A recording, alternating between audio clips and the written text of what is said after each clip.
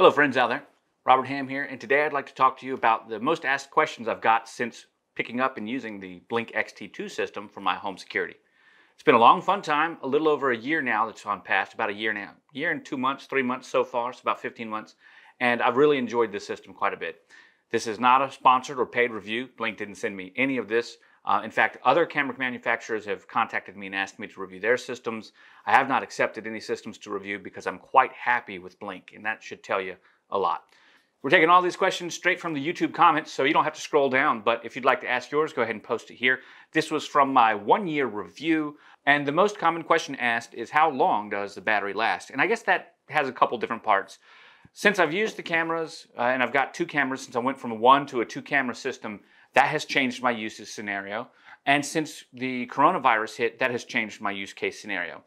Generally, I'm home quite a bit more, so I don't run the cameras 24 7 like I was when I originally picked up the system. When I first got the system running one camera 24 7, getting about 80 notifications a day, believe it or not, then uh, the, the batteries, one set of batteries, two lithium batteries, would last me roughly six weeks. So what that actually meant was that over a period of time, in about a year, I would use about hmm, about 12 batteries. You know, so about six different sets of batteries, somewhere in there, maybe 14. And uh, so you put that to your to your own thoughts. That's about $15 a year in battery cost. Currently, I'm only running it at night from a certain time in the evening to a certain time in the morning, late morning, uh, late evening to late morning. So it's running about 12 to 13 hours every day and that has cut down my notifications quite a bit. I only get about 12 notifications a night. Most of them are from the bunny rabbits, believe it or not, and a couple of dog walkers in the morning, which means that now my batteries last quite a bit longer. Since I've done that, one set of batteries has lasted in each camera easily four months because I put them in about four months ago when I started this new schedule and they're still going strong. So I hope that helps. Got another question, two-factor authentication for the app. Does Blink use that? Not that I'm aware of. However, the app can only be downloaded on your phone and uh, I can't access it from anywhere else. So unless you have given someone else access to your phone uh, and that account number or whatever for your Blink and your special serial number, then they would have a hard time uh, getting into it. So uh, security seems to be pretty good there. But don't forget that all of this stuff is hosted on a, on a web server. It's not hosted locally, which means that I don't put a Blink camera anywhere I would want someone that could uh, break the security measures that Blink has in place for their cloud storage to be able to see into my home. So if someone's looking into my cameras and they see my outside gate, that's fine. But I don't have any cameras in my home where they could actually see into my common areas or anything like that. So we've got another question. Could you quickly set up a Blink camera inside your house if you wanted to monitor your home while you were gone? Actually, I think this is a great option, and this is something that I do. I don't keep one in my home all the time, uh, especially when you know my children and my, my family is living here. But when I do go on vacation, I do actually change the setup of my cameras from my outdoor to an indoor and an outdoor setup, and that's pretty cool. Yes, because the cameras are Wi-Fi and they connect to your network, you can very easily move them wherever you would like without changing any wires. Nothing happens, you just move the camera. You may need to change your activity zones if you want to make sure that the monitoring is fine and stuff like that. You may need to change the sensitivity settings, but that's all done via the app, and the app is easy and works quite well. Got another question along those lines is, could you put a blink camera in your car while you're home in order to uh, monitor your car in case something were to happen to it. Yes, actually, this is very great idea and uh, was a suggestion that I've, uh, I've looked at implementing. And I wish I had done it uh, a couple of weeks ago. There was apparently someone in the neighborhood going through and, and rummaging around cars because several cars had had uh, their, their glove boxes and everything opened. Now, this is, I, I hate having to say that, but that happened in my neighborhood. I can't believe it. Um, and that got me thinking about this particular question when it was asked. And, it, and yeah, absolutely. You could, as long as your Wi-Fi signal will reach to the car, you could put a mount in your car or just a blink camera. But a mount would be nice because they, they just use a suction cup or a sticky pad. You could Velcro a blink camera in there, and as long as it can connect to your Wi-Fi signal, you can monitor what's happening in your car. In fact, if you use your cameras on a schedule, the camera will automatically turn on and turn off, so you could have one permanently mounted into your car when you left your home area, the Wi-Fi, of course, the camera would not record or do anything for you, and your system would notify you that a camera was online. But when you came back home at night to park, the camera would reconnect to your Wi-Fi and then show you what was going on in case anything happened. So that's a really great question and something that if you live in an area where you need that sort of thing, that's an excellent way to use it. So I got another question that says someone just bought a Blink camera and they wanted to know if they can eh, monitor their children while they're at work and things like that. And Blink is not Ring. People sometimes want to know if you've got this instant answer capability like Ring does. And uh, no, it's not like Ring, but Blink does have two-way communication on the XT2 module. You can talk through it. Now, sometimes the connection is delayed a little bit, especially if you are actually inside and you can hear the person trying to talk to your camera. You'll hear them through an open window before it will show up on your monitoring app. And sometimes that delay can take a few seconds. If you've ever worked in audio or video, you'll know that that latency is there and you try to work as hard as you can to get rid of it. My neighbors that have Ring um, don't seem to have any complaint about Ring as compared to when I show them the Blink capability for talking. I don't have Ring, so I can't compare it directly. But yes, lots of times I keep my gate locked, I keep my door locked. The only way to communicate with me when I'm not home is if I see the alert on my, uh, on my phone and then I choose to talk to you. There's no way to initiate a call on a Blink camera from the ground because the minute the Blink camera is triggered, it's automatically sending that information to the app. So if you're monitoring your phone or you get the notification, you can go right into it. And if someone's still knocking on your door, you can then, or knocking on your gate or whatever, you can then click the talk button on the app and say, hey, what's up? What can I help you with? And then they'll say whatever they want to say. So yeah, it works well for that. I don't know that I, I don't have any direct comparison to Ring for that capability, but for my uses, it's been great. Got another question. Does it have a recording light? If so, can you turn that recording light on and off? And yes, Blink does have a recording light. It happens to be a blue recording light. Now that blue light can be turned off from the unit. You actually take the unit, open it up, and on the back there's a little switch. You can turn off the recording light or turn it on. I leave mine on for a very simple reason. I want someone to know, especially at nighttime, that they are being recorded when they walk into my area. So I just want them to know that the, the system is armed and going, okay? So it can, it can act as a deterrent. But yes, you can turn it on and off, no problem. So here's a critical one, and I think I'm going to read this and, and, respond to a lot of that because I really enjoy it. I've got a, a, comment on here that says, hey, I've been using the Blink XT2 cameras since March of this year, and I must be the only customer that thinks they're garbage. But here's why I think that. First, the activity zones.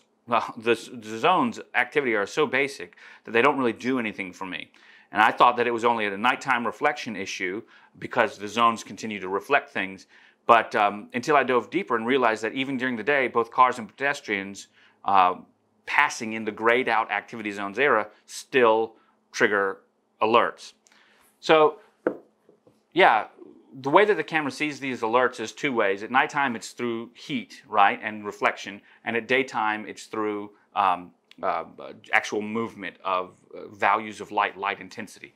So the camera can be fooled with false triggers by reflections of light that come in that are very bright, or even by passing clouds that come overhead and go from a bright contrasty day to a dark when the cloud comes over. If that happens uh, very quickly in rapid succession, you'll actually uh, get a false trigger. Now, like I said in my first video, and like I reiterated in my second video, I was uh, too upset about this when I first got my Blink system. Blink has improved that over the time, but I also realized that you need two very important settings, the sensitivity and the length of time in between um, uh, activations to be set. Once you figure out those sensitivity settings, that will help you quite a bit. I found also that pointing the camera down towards concrete, concrete is very reflective of light, will cause false triggers as well. So instead of pointing the camera down, like over midday when the sun's going to reflect light right back up to the camera and that has that could cause more false triggers i try to point it across my area so it sees things that are moving left and right and not forwards and backwards and not straight down that way either. That's a very big pro tip for you out there. And if you are concerned about individual triggers every single time um, that that will trip you up. Another thing to think about that is that the triggers, the way that the camera works, if you're working, you're really looking at passive monitoring. This isn't active CCTV monitoring where you've got a person watching it, uh, the feed, and then going to alert you if something happens. This isn't a sentry at the, the perimeter of your castle that's waiting to send up the smoke screen to let you know something's going on or sound the alarm. This is artificial intelligence, AI-based com cloud computing that sends alerts to your phone. And it is constantly learning and updating, and it can be triggered and fooled. The easiest way, and I'll reiterate it one more time, to get your camera dialed in is to actually use the retrigger time as well as the sensitivity. You can turn your sensitivity from 9 all the way down to 1, and that's just letting you know things about the size of a cat, um, or smaller like the bunny rabbits, or things the size of a person. 1 is bigger, 9 is smaller, more sensitive. Um, and also the retrigger time. So if something's still moving around or the clouds are still going over or whatever happens, it will retrigger in a few seconds later. Once you get those settings dialed in, I just got to say again, you're going to be much, much happier with the system. But also, Blink's really looking for people, right? So if it's triggering over small things and you're getting an alert, sure, that can be um, an annoyance. But I've never had Blink miss a, the trigger of a person when doing something to my home. And you can see my other videos for anecdotes and real personal experiences about that. But Blink has helped me out on at least two, possibly three occasions since I've had it in the past year and uh, 15 months, since I've had it uh, to, to actually just keep my house protected. That's pretty cool. It hasn't missed those. And the last point that this guy wants to bring up is that he thought that it could be just his cameras but or bad luck, but he did do some research and he said that hundreds of others have had the blurry issue with nighttime recording. All right, yes, hundreds of others? No. There's no issue with your blurry night vision camera. The sensor that Blink chose to use for night vision isn't the highest quality night vision camera you're going to get in a set of tactical goggles that you can go out there and defend the country with. No, it's at most a $99 piece of equipment that sells for on Black Friday $39 or $49 and you can easily find on sales for around $79 or $89, 10 or $20 off. And so no, the sensor's not that great, but it in no way keeps you from being able to identify a person that's close enough to it in your area or even see people that are walking by at nighttime in your area. If they're far away from the camera, of course, you won't be able to see who they are directly. But if someone's close enough to your home that they're going to be doing something that you need to identify them with, then it works just well. Anybody that comes to my gate or into my gate at nighttime, the camera sees without question. no problem. The people that are 30 or 40 yards away, I think even you would have a pro, uh, problem identifying them at nighttime with your own regular eyes. So it is true that it's blurry, but it's not a deal breaker. And it's not actually blurry, it's glowy. So it's a defined image that has a lot of glow or aura around it. Okay, that was a good comment right there. Let's go to another one. Another question wants to know how many cameras can you add? Well, I've only got two online. Uh, you can add, I believe, up to 10 cameras per sync module. And that'll lead me to another question. What do the sync modules do? Well, the sync modules allow for a group of cameras to be set up in zones. So if you had, let's say you lived in a place where you had three areas that you wanted to cover. One sync module would work with all three of those cameras if they were all on the same schedule. But let's say you wanted one camera by your door to be actively monitoring all day long. So now you've got a total of four cameras. Well, in this case, if you added that additional camera to the current sync module of the other three cameras, it would just monitor on the same schedule. So you would need a new sync module for that camera to log onto because the sync module is what contains the scheduling. So you would have zone one would be your three cameras that are all your perimeter areas, and zone two would be your other camera that stays on 24 7. And that's actually a great idea. If you think that you'd like to have your door monitored 24 7, so everybody that's coming and going from there, but you want your perimeter to be monitored only at nighttime, then uh, when it might be more vulnerable or more dangerous, or you want to have that information, then you can have them come on at nighttime, go off during the daytime, and then you can have your door covered.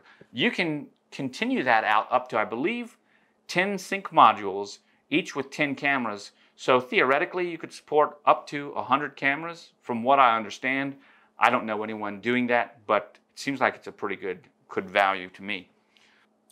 Hey, there's another great question coming in. It says, hey, if you have five cameras, can you turn off one of the cameras? Or could you put one inside the house and still have the other ones on? Yes. So in the Blink app, there's a great little button beside each of your cameras that looks like a person running, right? That means that the camera is actively monitoring for movement. When he's on, that little person is blue. When it's off, it turns gray. Tap it. You can turn off on any schedule of cameras that you have. You can turn off any individual camera. So if you wanted to turn, let's say you have your cameras on 24 7 and you want to turn a camera off for whatever reason, you don't have to turn all the cameras off. You just touch that little running man icon beside each of the cameras And if you're unaware, you can name each of your cameras like I've got. So balcony, fence, yard, whatever. Then you can turn off each one of those cameras and the other ones will remain active. Works the same way if you want to put these inside your house. Of course, I don't suggest putting them in your house when you're home uh, because do you want a camera and a mic inside of your house, in your house? no, I don't. And um, when I'm gone, like on a vacation, if I'm leaving the house for a while, more than a day, then sure, I'll put one inside so that I can just monitor inside. And I also move the ones outside to a different position that makes my house more defensible, so to speak. Just puts more, um, well, I guess let me, let me rephrase that, just so that you understand. When I'm home, I don't want my cameras turning on when I go out onto my deck. And I live in a condo, so I have a, I have a 20 by 14 size deck, 20 feet by 14 feet um, size deck, and then I've got a gate that surrounds that. So it's like my little, my little courtyard area. You've got to go through my gate to get to my door. When I'm home, I don't like my cameras pointing into the gate. I want to be able to walk out into my courtyard and do things without the cameras turning on. So I have my cameras positioned to see the yard and the fence line, anyone that would approach my home from any of the approachable angles. When I go on vacation or leave for longer than a day, I take one of the cameras down and I put it in front of my door. Now it's the camera that looks out over my door and it actually sees the entire area, right? So it'll see inside my fence because it's right there, but it can also see outside of my fence because it's about nine feet high. And it can see the entire yard. And I don't mind that it gets triggered when every car comes by because I'm gone from the house. I take another one inside of here and I put it up in a skylight area that I have that looks down into my home so that when someone comes onto the foyer, we can actually see if they go left, they go right, or if they go up the stairs, one of the three ways. So now I've got access of entry and internal house. I can also see what the cat's doing and if he's running around playing with anything, it's kind of funny. That works very well. So that's how I use the Blink system. And because the camera has no wires, it's as easy as just grab it here and put it there. I already put up the mounts. It comes with a mount, right? Each camera comes with one mount. So if you buy a two mount system, you get two mounts. If you buy a four mount system, you get four mounts, four camera system. You can buy the extra mounts. They're like 10 bucks. And you just put them wherever you want them. And if you don't have mounts, you could just Velcro them. Put a piece of Velcro on the wall and put a piece of Velcro on the back of the Blink, and that would work too. Okay, that pretty much ends the questions. I have a couple of bonus questions at the end. I know this video is getting kind of long, but if you stuck around to watch it, you really want to know. Um, when I first, I guess the most important thing was I had different expectations when I first bought the system than I do now. I thought I was getting active monitoring when I first bought the system, which meant I, I felt like there would be some guy in the crime lab watching everything that happens. And that's what I was expecting. That's not what happens. Uh, it does take a few seconds for you to get an alert on your uh, phone that there's an emotion event happening. Now, it's greatly improved. When I first got it, it could take 10 or 12 seconds, maybe even 15 seconds before a motion alert would happen, and that would be after the event took place, which means I could never go into the event actively. Currently, that's not the case anymore. Blink actually has a live feature right now that will take you directly into the event immediately. And that means that when the event happens, it only takes two or three, maybe four seconds for my phone to have the update saying, hey, there's a motion alarm at your home. Would you like to view?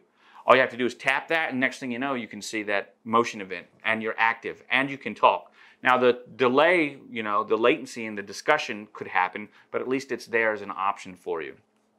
Next question is, how do I feel about using Blink this entire time? I've enjoyed it. If you can't tell, I like the system. It's, it's no maintenance, okay, other than the batteries, no additional cost, and that's what it really gets me there. And it's all HD stuff, so it's all 1080p video. And you can't get better video than that right now, uh, as far as I'm concerned. I mean, I'm not going to pay to have 4K. I'm not going to buy an Arlo system. They're charging for their hosting. These Blink's got it. Blink's got it locked down. It's going to do you a good job. And I'm happy that I've got the system. Guys, I hope that you've enjoyed this question and answer period and you didn't find it too boring. No anecdotes this time. Go watch some of the other videos. You can find them in the links below or up here somewhere. And I'll catch you guys on the flip side.